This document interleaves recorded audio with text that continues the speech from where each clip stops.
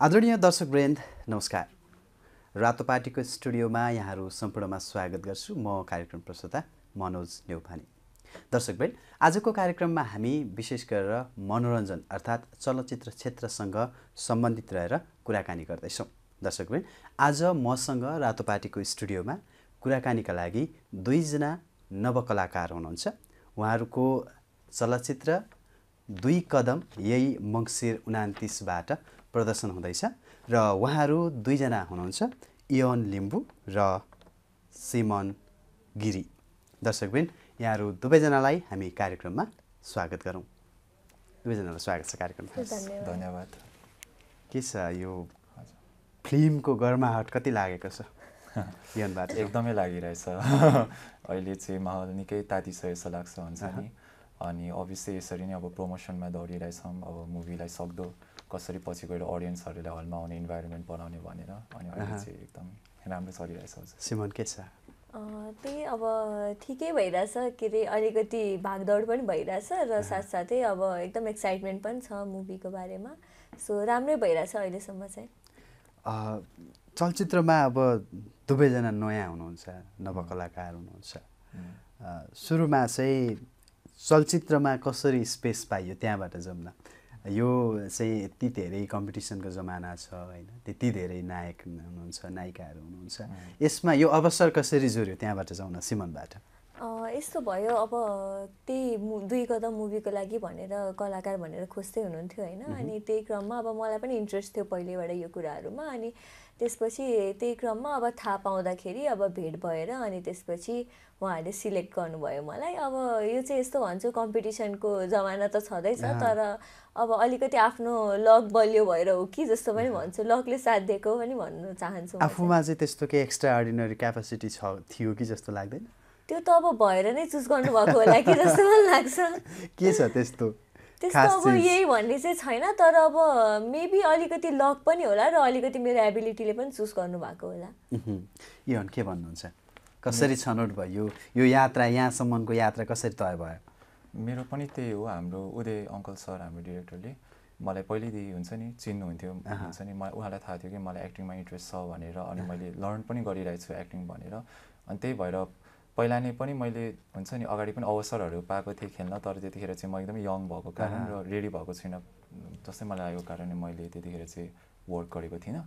अनि पछि चाहिँ अनि उहाँको त्यो स्क्रिप्टमा पनि एउटा नयाँ एक्टर हुन्छ नि म अस्ति यङ यङ र अलिक अब फिजिकलिटीहरू पनि यस्तै चाहिने भएको कारणले उहाँले लिनुभएको। अब आफूलाई कतिको भाग्यमानी लाग्छ? यो यस्तो धेरै चाहिँ नायकहरू हुनुहुन्छ अथवा नवकलाकारहरू पनि त्यत्तिकै हुनुहुन्छ होइन? अहिले त झन् डिफ्रेन्ट सोसल मिडिया प्लेटफर्मबाट कलाकारहरूको जन्म भइराखेको छ। त्यो अवस्थामा एउटा चाहिँ गोल्डन स्क्रिनको लागि होइन? एउटा चाहिँ त्यसरी अवसर पाउनुलाई चाहिँ कतिको भाग्यमानी ठान्नुहुन्छ? कतिको लकी फिल गर्नुहुन्छ? अभियसली आफूलाई म एकदमै लकी नै सोध्छु हुन्छ नि। तर अब लकी साथसाथै अब मैले यो ठाउँमा आउनलाई कति मिहिनेत गरेको थिएँ भने त। मलाई नै मात्रै थाहा छ नि त। सिक्ने क्रममा हुन्छ नि। होला मैले वर्कहरू त्यति धेरै गरेको छैन। मेरो अन स्क्रिन वर्क चाहिँ यो फर्स्टै हो तर बिहाइन्ड द सिन मैले धेरै लर्न गरेको छु। थिएटरमा सिकेको पनि छु। त्यही अस्कर कलेजमै एक्टिङ लाइक फोर्थ इयरमा छु म। सो त्यही भएर एक हिसाबले तर एट दि एन्ड लकी चाहिँ लकी नै सोध्छु। हजुरले भने जस्तो गोल्डन अपर्च्युनिटी नै हो। अब यो जस्तो चाहिँ चलचित्रमा चाहिँ अथवा चाहिँ यो ठुलो स्क्रिनमा आउनको लागि पाएको अवसर बाहेक तपाईँले गरेको त्यस्तो के के कामहरू छन् जसले गर्दा अझ अरू अडियन्सहरूले पनि नोटिस गर्न सकुन्? केही छ त्यस्तो? योभन्दा फिल्मभन्दा अगाडिको जर्नी थोरै रिकल गरौँ न। फिल्मभन्दा अगाडिको जर्नी चाहिँ मैले त्यस्तो म्युजिक भिडियोज एड्सहरू त्यस्तो चाहिँ केही पनि गरेको छैन।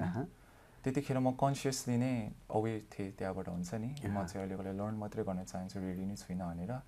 अनि त्यही हो मेरो चाहिँ त्यही प्लस टू पछि मैले सिल्भी थिएटर जोइन गरेको थिएँ। अहँ। त्यहाँ चाहिँ थ्री मन्थको एक्टिङ लाइक वर्कसप गरेको थिएँ। अनि त्यसपछि चाहिँ अनि अस्कर इन्टरनेसनल कलेजमा अब के भन्छ जोइन गरेँ। अनि त्यही अब साथीहरूसँग हल्का कलेज प्रोजेक्टहरू गर्ने गर्ने त्यस्तो चाहिँ भयो। हल्का अस्करमा पनि थिएटरको एक्सपिरियन्सहरू पनि अझै बढ्यो। तिन तिन चारवटा नाटकहरू पनि गर्न पाएँ कलेजमै सो त्यही नै हो मेरो चाहिँ। सिमोनको यात्रा के छ? अँ, मेरो चाहिँ मेरो चाहिँ सुरुमा चाहिँ मैले ब्युटी पेजेन्ट गरेको थिएँ। अनि त्यसपछि चाहिँ फोटोसुटहरू एडहरू पनि गरेको छु थुप्रै अनि डकुमेन्ट्रीहरू पनि गरेको छु र त्यति नै हो। अब यो यात्रालाई सरस्वती सम्झेर यो चलचित्रसम्म आइपुग्दाखेरि चाहिँ दुई कदम चलचित्र के हो? यौनको लागि के हो? सिमनको लागि के हो? दुई कदम चलचित्र चाहिँ मेरो लाइफको भन्छ नि एउटा त्यो लाइफ चेन्जिङ मुमेन्ट जस्तो पनि बनेको छ अहिले हेर्दाखेरि चाहिँ। अनि प्लस अब मलाई पहिल्यैबाट इन्ट्रेस्ट लागेको हुनाले गर्दाखेरि पनि त्यो हुन्छ नि आफूले मनैबाट मैले चाहेको कुरा पुरा भएको जस्तो पनि फिल भइरहेको छ। सो मेरो लागि चाहिँ यो चलचित्र भनेको एकदमै स्पेसल हो होइन? मेरो काम अनि एकदमै अब पछि पनि अब राम्रो हुन्छ होला यो चलचित्रले मलाई सधैँभरि नै जोड्ने हुन्छ नि त। सो एकदमै मेरो लागि एकदमै स्पेसल हो यो चलचित्र चाहिँ। के भन्नुहुन्छ? मेरो लागि पनि उसले भनेको जस्तै एकदमै स्पेसल हो होइन? आफूले अब पहिलादेखि जुन त्यो इमेजिन गरेको हुन्छ नि आफूलाई त्यो स्क्रिनमा त्यो अब आफूले लिभ गर्नु पाउँदा जस्तो यो फुलफिल भएको छ नि त यो एउटा सपना।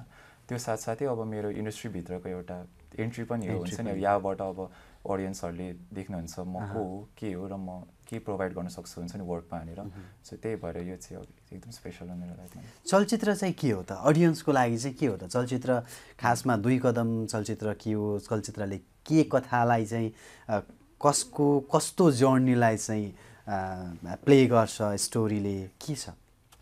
सिमनबाट जाउँ हाम्रो चलचित्र चाहिँ एकदमै हुन्छ नि सबै कुराहरूको त्यो एकदम मि मिश्रण भन्छ नि सबै कुराको मिश्रण छ जस्तो लाग्छ।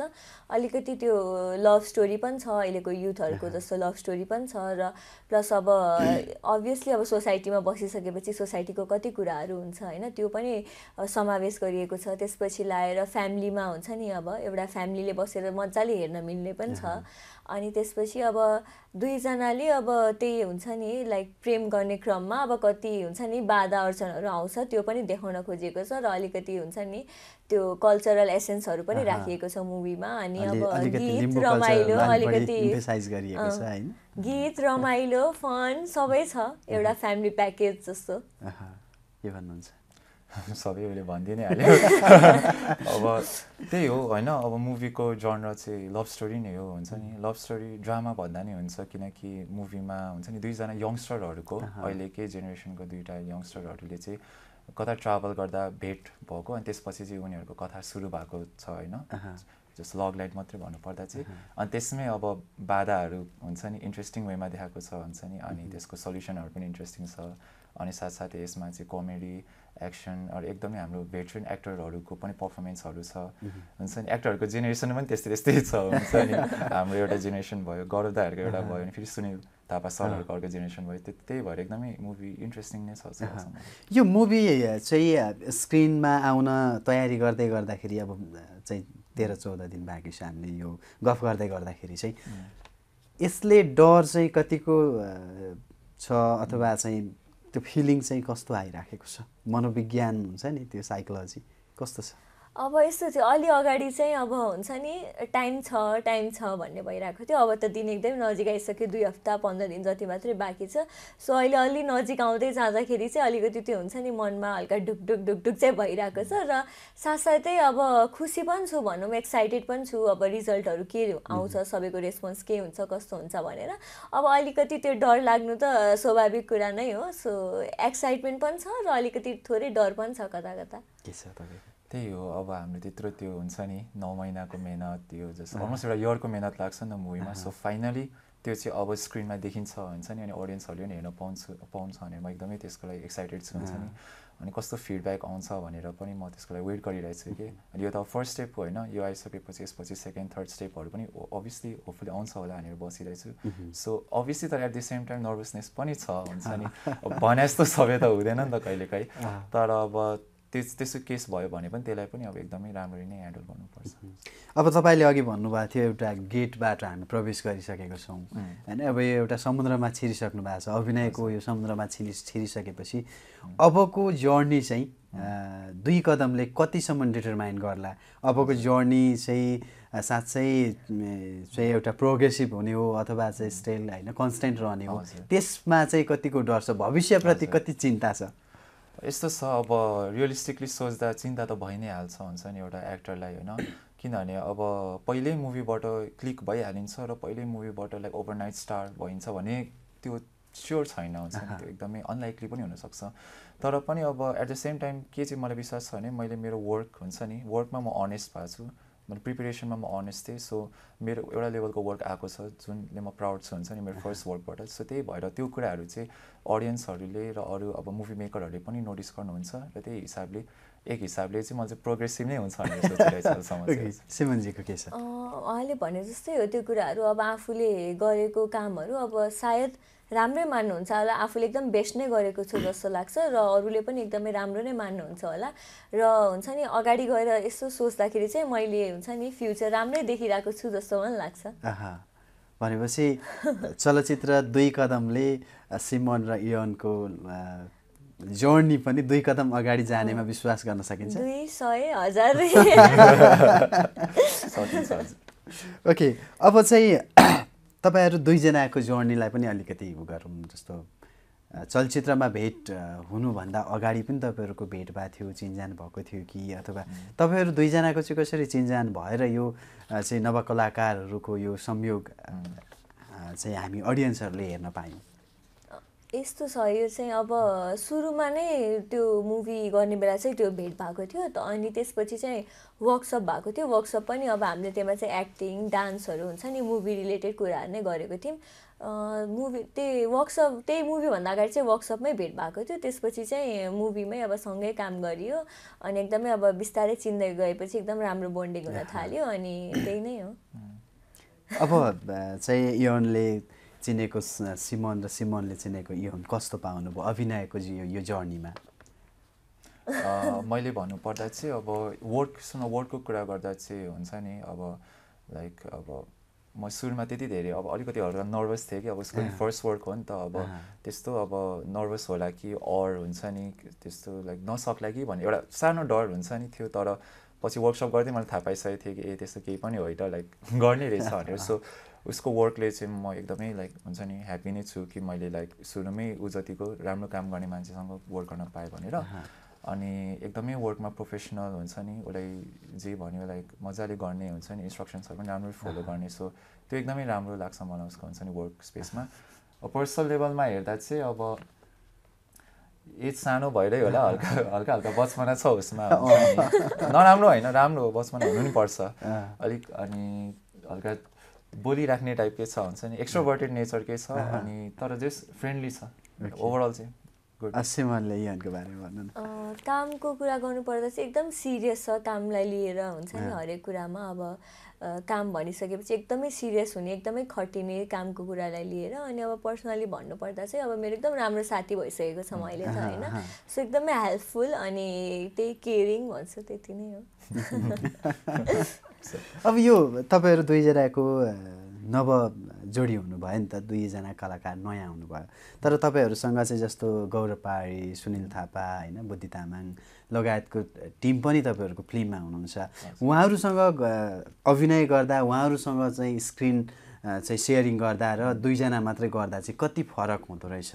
त्यो अनुभव होइन उहाँहरूको ओज र तपाईँहरूको भर्खर त्यो पलाउँदै गरेको त्यो रहरमा कति फरक हुँदो रहेछ? एकदमै अब फरक हुँदो रहेछ। अब उसँग काम गर्दाखेरि त अब दुवैजना नयाँ भएको कारणले गर्दाखेरि अब कति कुराहरू जस्तै आएन भएन भने पनि हामी यसरी गरौँ न यसरी गर्दा हामीलाई सजिलो हुन्छ भनेर त्यो हुन्छ नि एउटा काइन्डको डिस्कसन गरेर गर्नु मिल्यो। अब एकदमै त्यो सिनियर कलाकारहरूसँग काम गर्दा चाहिँ अब हुन्छ नि उहाँहरू चाहिँ पहिल्यैबाट अब एकदम एक्सपिरियन्स होइन। अब भनौँ न एक सर्टमै गर्ने जस्तो। अब हामी त भर्खरै नयाँ नयाँ भएको कारणले गर्दाखेरि अब हामीलाई चाहिँ हुन्छ नि त्यो मनमा डर हुन्छ नि त। बिगार्छौँ कि यो भन्ने ठाउँमा अब अलिकति नर्भस भएर अर्को भन्छौँ कि भन्ने डर चाहिँ हुँदो रहेछ। तर राम्रै भयो एक्सपिरियन्स एकदमै हेल्पफुल नै हुनुहुन्थ्यो सबैजना हुन्छ नि गाइड गर्नुहुन्थ्यो यो कुरा यस्तो हो यो यस्तो हो भनेर। सो एकदम राम्रो नै भयो एक्सपिरियन्स तर आहा के भन्नुहुन्छ? जस्तो तपाईँ त उसको कलेजमा सिक्दै पनि हुनुहुन्छ कतिपय चाहिँ एक्स्ट्रा क्लासहरू दिनलाई होइन चाहिँ सिनियर कलाकारहरू पनि कलेजले प्रोभाइड गर्नुहुन्छ। हजुर। त्यो उहाँहरूसँगको एउटा टिचिङ लर्निङ प्रोसेस र यता फेरि आएर चाहिँ एक्सपेरिमेन्टमा। कतिको डिफ्रेन्ट हुँदो रहेछ। अनुभव कस्तो रह्यो त्यो चाहिँ त्यो त डिफ्रेन्टै हुन्छ हुन्छ नि। अब टिचिङ गर्ने बेला त अभियसली जे भए पनि आफू स्टुडेन्ट हो नि त। आफू त्यही लेभलमा बस्नु पऱ्यो टिचरलाई एक लेभल माथि राख्नै पर्छ नि त होइन। रेस्पेक्ट हुन्छ एउटा। उहाँले भनेको सबै कुराहरू सुन्नुपर्ने गर्ने त्यो हुन्छ नि। अनि टिचिङमा चाहिँ जस्ट म लर्न मात्रै गर्दैछु भन्ने मात्रै हुन्छ भने वर्क गर्दा चाहिँ एक हिसाबले हेर्दा चाहिँ अब चाहिँ इभन त्यो चाहिँ इभन भयो कि अब लेभल चाहिँ। अब चाहिँ हामी वर्कै गरिरहेछौँ। उहाँले पनि सिनले के भन्नुहुन्छ गर्नुपर्छ। मैले पनि सिनले जे भन्छ मैले त्यो गर्नुपर्छ। सो त्यो एक्सपिरियन्स एकदमै फरकै भयो। हजुर। वर्क गर्दा चाहिँ जस्ट अघि नै त्यही हजुरले प्रोसेस सोध्नु भएको थियो नि सिनियर एक्टरहरूसँग वर्क गर्दा चाहिँ एउटा त्यो चाहिँ हुने रहेछ कि आफूले चाहँदा नचाहँदा नि भित्रबाट एउटा प्रेसर चाहिँ आउने रहेछ कि। हो अब उहाँहरूले अभियसली आफ्नो त बेस्ट गर्नुहुन्छ हुन्छ नि र उहाँहरू यसै पनि अब भेटरन हुन् सकिहाल्नुहुन्छ नि। आफूले पनि आफ्नो बेस्ट गर्नुपर्ने भने त्यो प्रेसर चाहिँ आफै आउने रहेछ कि। त्यस्तै- त्यो चाहिँ हुने रहेछ हजुर। तर पनि स्टिल ओभरअल वर्क गर्दा चाहिँ it was very nice experience एकदम अब जस्तो चलचित्रसँग चाहिँ अरू अरू सोसल प्लेटफर्महरू पनि जोडिन्छ होइन। र चलचित्रलाई एउटा एक मा- लेभल माथि पुर्याउनलाई आफ्नो प्रतिभालाई पुर्याउनका लागि चाहिँ सोसल प्लेटफर्महरूको पनि त्यत्तिकै भूमिका हुन्छ। अलिकति सोसल प्लेटफर्मको कुरा गरौँ होइन जस्तो। पछिल्लो समय सरकारले टिकटक बन्द गरिदियो। होइन टिकटक बन्द भएपछि चाहिँ सिमोनलाई यनलाई कति घाटा भयो कति नाफा भयो? घाटा त यस्तो हो। अब टिकटक चाहिँ चलाउन त चलाइन्थ्यो तर एकदम त्यो चलाउने भन्नाले त्यो हुन्छ नि एकदमै धेरै त्यो भिडियोहरू बनाउने हुन्छ नि त। त्यस्तो चाहिँ थिएन। अब कहिलेकाहीँ आफूलाई इच्छा लागेको बेलामा बनाउने रमाइलोको लागि चाहिँ थियो। तर अब यस्तो सब बन्द हुने कुरामा अब एउटा हिसाबले राम्रै पनि हो। एउटा हिसाबले चाहिँ अब हुन्छ नि अब मिडिया फिल्डको लागि चाहिँ अलिकति के भन्छ घाटा नै हो त्यो कुरा चाहिँ। अब राम्रो प्रमोसनहरू भइरहेको थियो नि त कति कुराको। तर अब पोजिटिभ भन्दा पनि चाहिँ कति घाटा नाफा भयो? फिल्म आउँदै गर्दा है?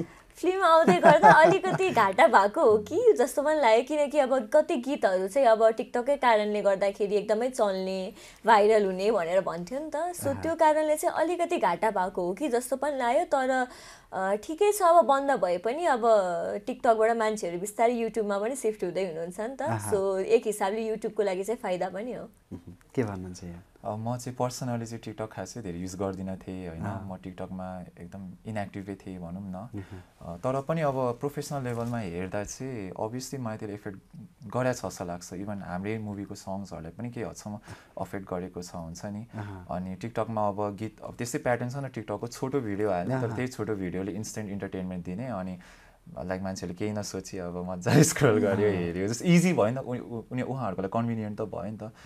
अब त्यो भएको भए मेबी अब हाम्रो गीतहरू पनि त्यसरी नै अब आउँथ्यो कि होइन त्यसरी नै अब कति अरू भनौँ न इन्फ्लुएन्सरहरूले त्यसमा के भनौँ कन्टेन्ट बनाउनु हुन्थ्यो कि होइन त्यसले अभियसली एफेक्ट त गरेकै छ नगरेको चाहिँ होइन बट मलाई पर्सनल लेभलमा चाहिँ म युज नगर्ने भएको कारणले मलाई पर्सनल लेभलमा चाहिँ इफेक्ट भएको छैन।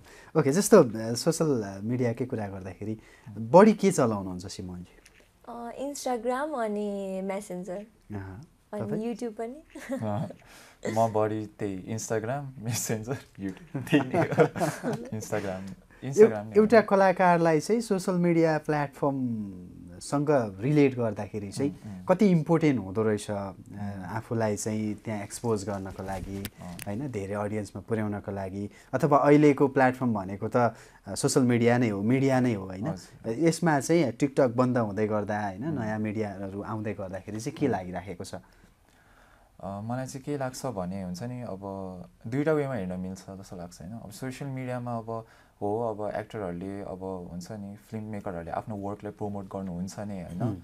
तर एट द सेम टाइम अब आफूमा ट्यालेन्ट छ आफ्नो वर्क राम्रो छ भने कति धेरै एक्टरको सोसियल मिडिया छैन पनि के? हुन्छ नि त्यस्तो नि थुप्रै हुनुहुन्छ तर उहाँहरूले वर्क राम्रै गर्दै हुनुहुन्छ कि?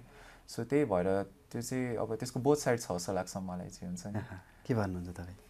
अब यस्तो छ मलाई चाहिँ सोसियल मिडियाहरूले बेनिफिट नै गर्छ जस्तो लाग्छ किनकि आजभोलि त सबैको हात हातमा फोन हुन्छ नि त। सो मान्छेहरूले अब हुन्छ नि जे गर्दा पनि अब फोनमै हेर्ने हुन्छ नि त अब है के गर्दैछ के गरेको छ भनेर त्यो झन् अब कलाकारहरूको झन् झन् हामीलाई लाइफस्टाइलहरू हेर्ने हुन्छ नि इच्छुक हुन्छ हुनुहुन्छ नि त कतिजना मान्छेहरू। सो मलाई चाहिँ त्यो फाइदै हो राम्रै हो जस्तो लाग्छ सोसियल मिडिया प्लेटफर्म चाहिँ। अब तपाईँले ठ्याक्कै भन्दाखेरि जस्तो सो- गभर्मेन्टलाई अ, चाहिँ सल्लाह दिनु पऱ्यो भने टिकटक खोल्नुपर्छ भन्नुहुन्छ कि बन्द गर्दै ठिक हुन्छ भन्नुहुन्छ सिमनजी? अब यस्तो छ अब बन्द मलाई त खोल्नै ठिक हुन्छ जस्तो लाग्छ किनकि अब बन्द गरेर पनि कतिजनाले भिपिएनबाट होइन के के माध्यमबाट चलाइराख्नु भएको छ नि त कि अब बन्द भएपछि कम्प्लिटली नै बन्द हुनु पर्यो? झन् त्यो भिपिएनबाट चलाउने त्यो गर्यो भने चाहिँ कति त्यो हुन्छ नि अब ह्याक ह्याकिङहरू हुने त्यस्तो पनि सम्भावना हुन्छ नि त। सो अब खोलेकै राम्रो हो जस्तो पनि लाग्छ किनकि अब बाहिर बाहिर पनि इन्टरनेसनल मिडियाहरूमा पनि अब नेपालीको हुन्छ नि केही कन्टेन्टहरू मेबी पुग्न सक्छ बाहिरको मान्छेहरूले पनि चिन्न सक्नुहुन्छ कि भन्ने छ। अब त्यो मैले डिसाइड गर्नु त मिल्दैन। के भन्नुहुन्छ? त्यही हो मैले पनि डिसाइड गर्ने कुरा त होइन होइन। तर तपाईँलाई के लाग्छ? अ, यस्तो लार्ज स्केलमा हेर्दा चाहिँ मलाई लाग्छ खोलेको डिसिजनै बेटर हुन्छ कि? मलाई लाग्छ हुन्छ नि। किनकि धेरैजना व्यक्तित्वहरूले टिकटकमै हुन्छ नि आफ्नो के भनौँ अर्न पनि गरिरहेको हुनुहुन्थ्यो नि त आफ्नो करियरै उहाँहरूको त्यसमै थियो हुन्छ नि। सो ओभरअल हेर्दा चाहिँ खोलेको पनि बेटर लाग्छ। ओके अब अलिकति यो गसिप र र्युमरमा जाउँ। नवकलाकारलाई गसिपको डर कति हुन्छ? तपाईँलाई कति छ? मलाई डर चाहिँ छैन। मलाई होइन त्यस्तो गसिपहरूले डर लाग्दैन होइन। अब मेरो बारेमा कुरा गरिराख राख्नु भएको छ भने त मलाई त राम्रै लाग्छ हजुर।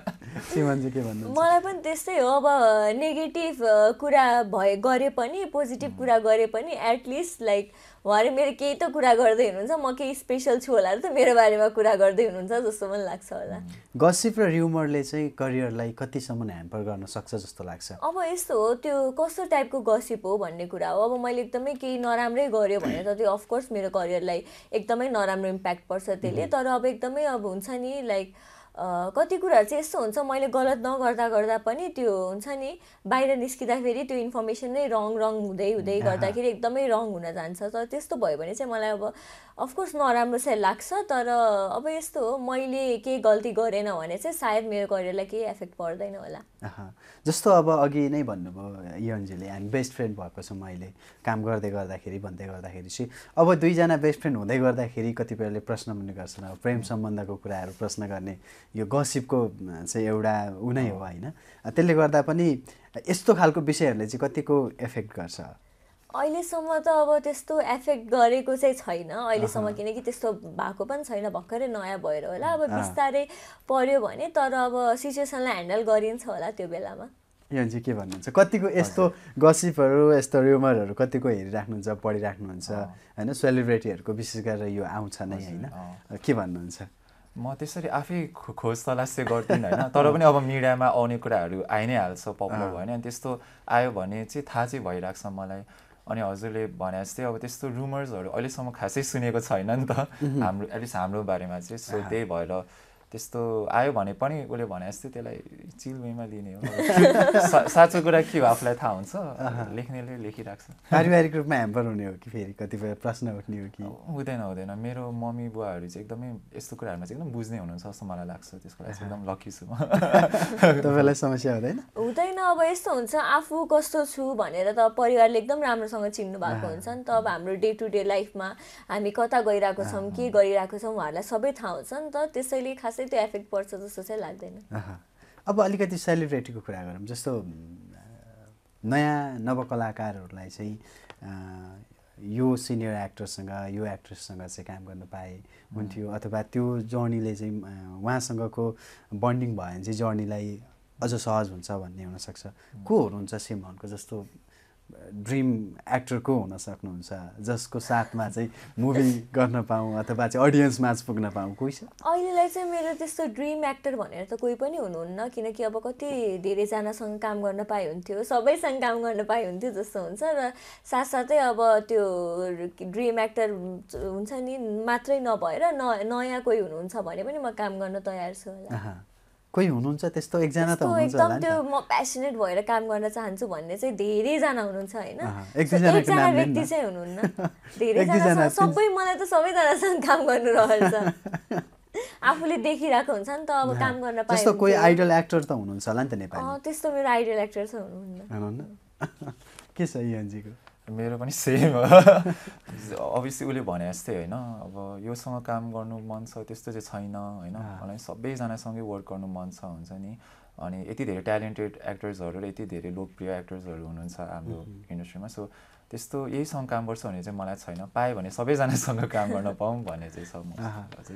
त्यस्तो मेरो पनि एउटा एउटा इन्डिभिजुअल आइडल एक्टर भन्ने चाहिँ छैन। सबै राम्रो राम्रो एक्टरहरूको केही केही गुणहरू सिक्न पायो भने सिक्ने लिने त्यस्तो चाहिँ हो। जस्तो तपाईँले त चाहिँ फिल्ममा पनि जस्तो पछिल्लो समय नयाँ गीतमा काम पनि गर्नुभएको छ। कस्तो पाउनुभयो जस्तो वर्षा शिवाकोटीसँग तपाईँको हजुर। होइन बन्डिङ भएको छ? सँगसँगै अन्य सिनियर आर्टिस्टहरूसँग पनि तपाईँहरूले गर्नुभएको छ। त्यो गर्दै गर्दाखेरि चाहिँ फुल फिल्ममै चाहिँ यसरी आफ्नो पार्टनरै होस् अथवा को एक्टर नै होस् भन्ने खालको चाहिँ लागेको छ कि छैन?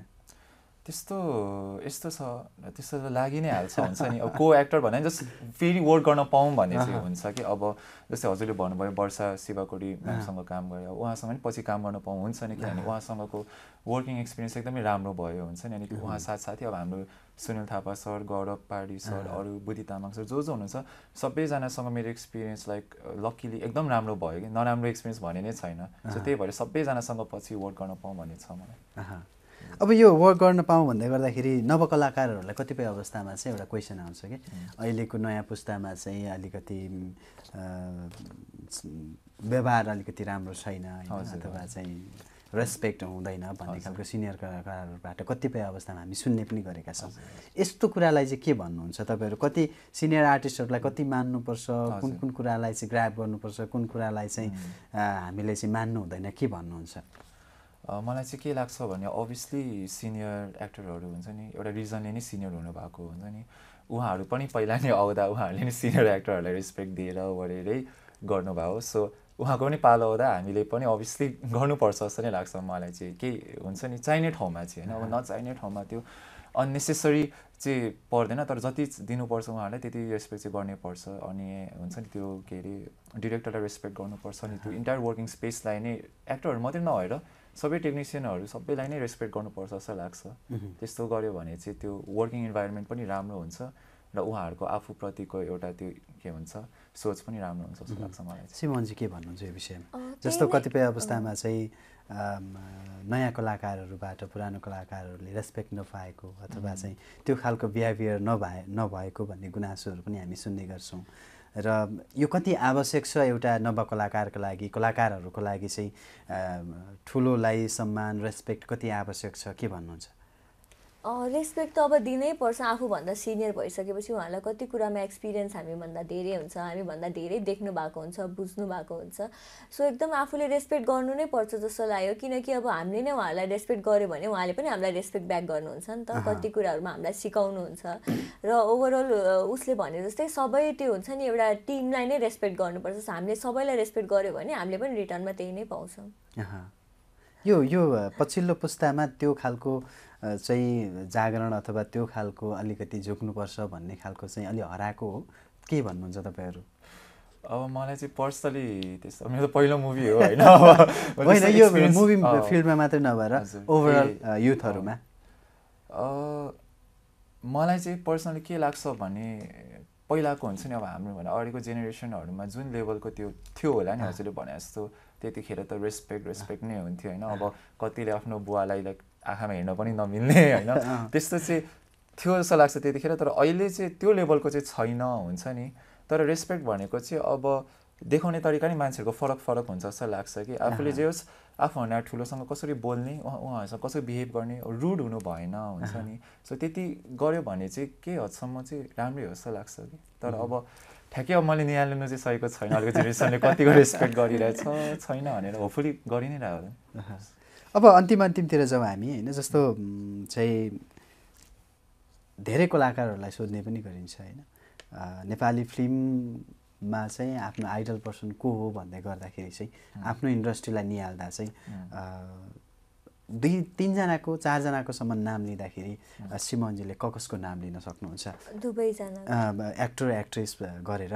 जसलाई चाहिँ तपाईँ हेरेर हुर्किनु भएको छ एक्टिङ गर्दाखेरि उहाँलाई चाहिँ एउटा इन्स इन्सपिरेसन पार्ट लिएर गर्दै गर्दा कसको नाम लिनुहुन्छ?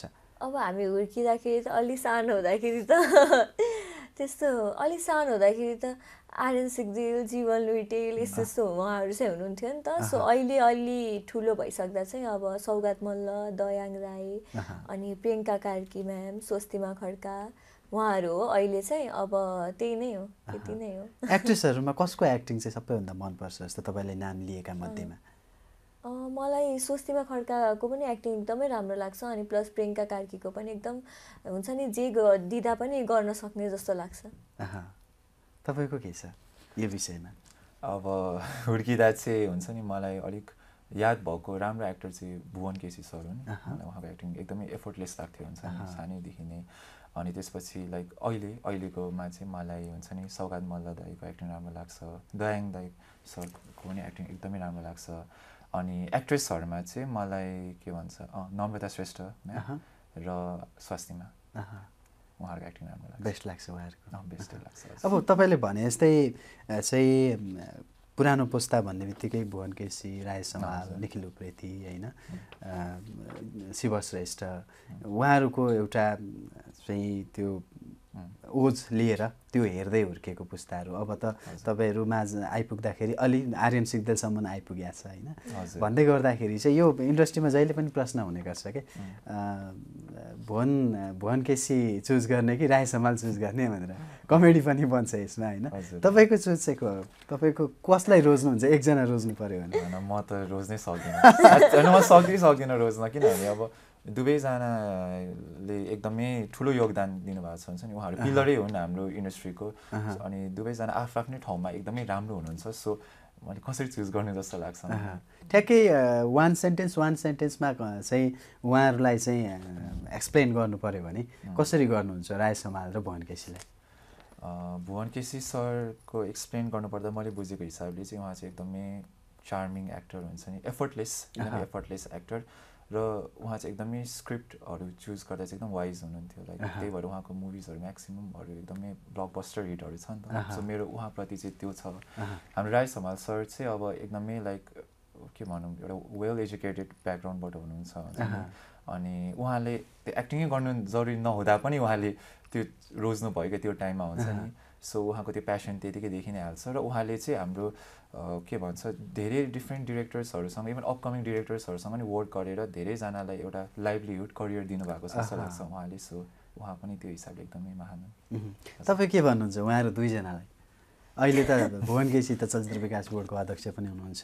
राय समाल आफैमा एउटा अभिभावक जस्तो भएर होइन? कतिपय अवस्थामा आफै पनि फिल्डमा आएर एक्टिङ गरिराख्नु भएको हुन्छ। दुईजना छनौट गर्दा कसलाई छनौट गर्नुहुन्छ? र उहाँहरूलाई एक्सप्लेन गर्दा कसरी गर्नुहुन्छ? वान वान त्यस्तो छनौट त म गर्दिनँ।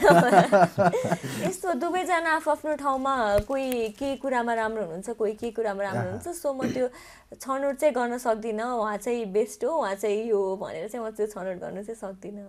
उहाँहरूलाई एक्सप्लेन कसरी गर्नुहुन्छ? तपाईँले चिनेको राय समालको र तपाईँले चिनेको भुवन केसीको हो?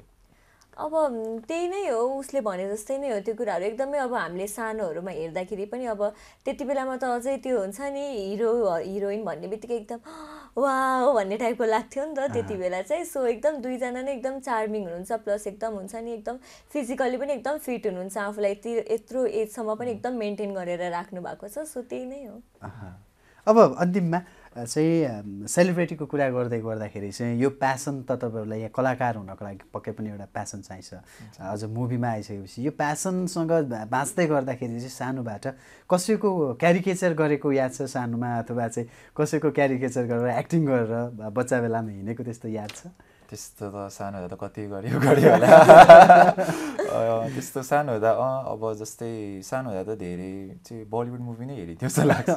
सो त्यतिखेर त्यही शाहरुख खानको क्यारिकेचर गरिने हुन्छ नि अब सलमान खानकै पनि कति डाइलगहरू क्यारिकेचर गर्ने त्यस्तो केही याद छ भने अलिकति सुनौँ न तपाईँ। अहिले त अलिक कस्तो त्यो मुड नै थोरै सुनौँ न जस्तो तपाईँले बच्चा बेलामा गरेको त्यो बच्चाको कम्प्लिट हुन्छ हुँदैन नि त। हजुर। होइन त्यो त्यही खालको क्या एकदम र खालको क्या। र खालको अँ। बच्चा कि जस्तो अँ, एकैछिनै ट्राई चाहिँ गर- गरिदिन्छु नि त। Okay I love you Kiran साह्रो ओके। तपाईँले पनि गर्नुभएको छ होला त्यस्तो पक्कै क्यारिकेचर चाहिँ त्यस्तो एकदम याद चाहिँ छैन तर अब सानो सानो हुँदाखेरि चाहिँ त्यो हुन्छ नि कोहीले अब कोही आफन्त आउनुभयो भने घरमा कोही पाहुना आए आउनुभयो भने चाहिँ पाँच रुपियाँ दिन्छु दस रुपियाँ दिन्छु नाच भन्यो भने चाहिँ नाच्थेँ कि म चाहिँ त्यति नै हो सानो हुँदाखेरि कि गीत गाऊ पैसा दिन्छु भन्यो भने नाच्ने गाउने त्यति मात्रै हो। कलाकारिता चाहिँ त्यो सानैबाट थियो। तपाईँले त शाहरुखको पुरै होइन? त्यो हुर्किँदै जाँदाखेरि अन्तिममा चाहिँ यहाँसम्म आइपुग्दाखेरि र दुई कदममा जोडिसकेपछि चाहिँ त्यो देखेको सपनाले कति सार्थकता पायो र यो सार्थकता र यो सहकार्य कसरी अघि बढ्छ जस्तो लागेको छ अन्तिममा चाहिँ अब? अन्तिममा हेर्दा अब पहिलो मुभीले चाहिँ म भन्नै सक्दिनँ जस्तो लाग्छ हुन्छ नि। मेरो अब जस्तो मैले यसमा चाहिँ आफ्नो बेस्ट काम गरेको हो। अब अडियन्सहरूले पनि अब कतिको मन पराउनुहुन्छ भनेर त्यो मुभी आइसकेपछि नै थाहा हुन्छ होइन। सो अहिले चाहिँ म त्यो भन्नु सक्ने स्टेटमै छुइनँ जस्तो लाग्छ तर पनि पोजिटिभ छु होपफुल छु कि यसले नै अब कतिको च्यालेन्जिङ छ यो इन्डस्ट्री नेपाली फिल्म इन्डस्ट्रीमा एउटा नयाँ कलाकार इस्टाब्लिस्ड भएर चाहिँ आफूलाई यहाँनिर चाहिँ आफ्नो करियर अघि बढाउन चाहिँ अन्तिममा। मलाई चाहिँ लाग्छ च्यालेन्जिङ चाहिँ च्यालेन्जिङै छ होइन। इजी त छैन किनकि कम्पिटिसन एकदमै टफ छ। प्लस अनि धेरै अरू पनि फ्याक्टर्सहरू छ हुन्छ नि एउटा अपकमिङ एक्टरलाई इस्टाब्लिस हुनलाई। बट धैर्यता छ ट्यालेन्ट छ र इम्प्रुभ गरिराख्ने जागर छ भने वान डे सुनर लेटर चाहिँ हुन्छ नै लाग्छ। ओके सिमोनजी जस्तो एक्टरलाई भन्दा एक्ट्रेसलाई अझ बढी प्रेसर छ नेपाली फिल्म इन्डस्ट्रीमा होइन? र त्यो प्रेसर र यो च्यालेन्ज कस्तो पाउनु भएको छ र फर्दर करियरमा हामीले सिमोनलाई कसरी हेर्न सक्छौँ भनेर एउटा टेन्टेटिभ आकलन गर्न सकिन्छ? के भन्नुहुन्छ करियर च्यालेन्जेसहरू त धेरै नै छ अहिले बुझ्दै जाँदाखेरि होइन? त्यो त हरेक फिल्डमा नै हुन्छ च्यालेन्जेस झन् केटी मान्छेलाई भनेपछि अलिकति हुन्छ नि अलिकति गाह्रो पनि हुने हुन्छ कति कुराहरू समाजले एक्सेप्ट नगर्ने त्यस्तो पनि हुन्छ। तर त्योभन्दा पनि आफू चाहिँ म गर्न सक्छु अरू म हुन्छ नि हार खाँदिनँ भनेर चाहिँ अगाडि बढ्नुपर्छ जस्तो लाग्छ। र साथसाथै अब आफूले हुन्छ नि के कुरा चाहिँ ठिक हो के कुरा मेरो लागि ठिक होइन भनेर छुट्याउन चाहिँ सक्नुपर्छ। अनि अगाडि बढ्न सकिन्छ। हजुर। अहिलेसम्मको त अब रेस्पोन्सहरू राम्रै छ र सायद फ्युचरमा पनि अब अडियन्सहरूले एकदमै माया दिनुहुन्छ होला किनकि अब भर्खर नयाँ हो सबै कलाकारहरू सुरुमा आउँदाखेरि नयाँ नै हुनुहुन्थ्यो होइन। अब अडियन्सहरूले साथ दिएर नै अगाडि बढ्नु भएको छ र सायद आशा गर्छु उहाँहरूले हामीलाई पनि साथ दिनुहुन्छ होला। फाइनल्ली मङ्सिर उनातिस गते नजिकिएको छ। र हामीले कुराकानी पनि धेरै गरिसकेका छौँ चलचित्रको बारेमा पर्सनल करियरको बारेमा होइन? विभिन्न चाहिँ आयाममा रहेर कुराकानी पनि गऱ्यौँ अन्तिममा अडियन्सलाई के भन्न चाहनुहुन्छ? क्यामेरातर्फ फर्केर पनि भन्न सक्नुहुन्छ। हेरिराख्नु भएको सम्पूर्ण दर्शकजीहरूलाई नमस्ते।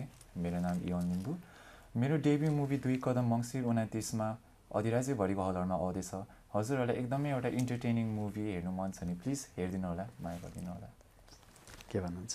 रातो पार्टी हेरेर बस्नुभएको सम्पूर्ण दर्शकहरूलाई नमस्ते।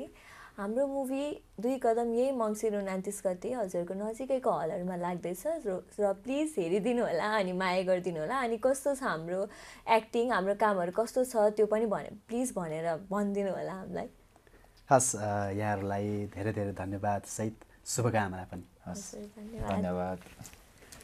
हस्त दर्शकवृन्द आजको रातोपाटी स्टुडियोको यो मनोरञ्जन विशेष श्रृङ्खला यही सकिन्छ आज बसँग कुराकानीका लागि हुनुहुन्थ्यो। यही मङ्सिर उनातिस गतेबाट अल नेपाल प्रदर्शनको तयारीमा रहेको चलचित्र दुई कदमका नयाँ कलाकार नवकलाकार इयन लिम्बू र सिमन गिरी। हस्त आजलाई कार्यक्रमबाट बिदा दिनुहोस्। नमस्कार।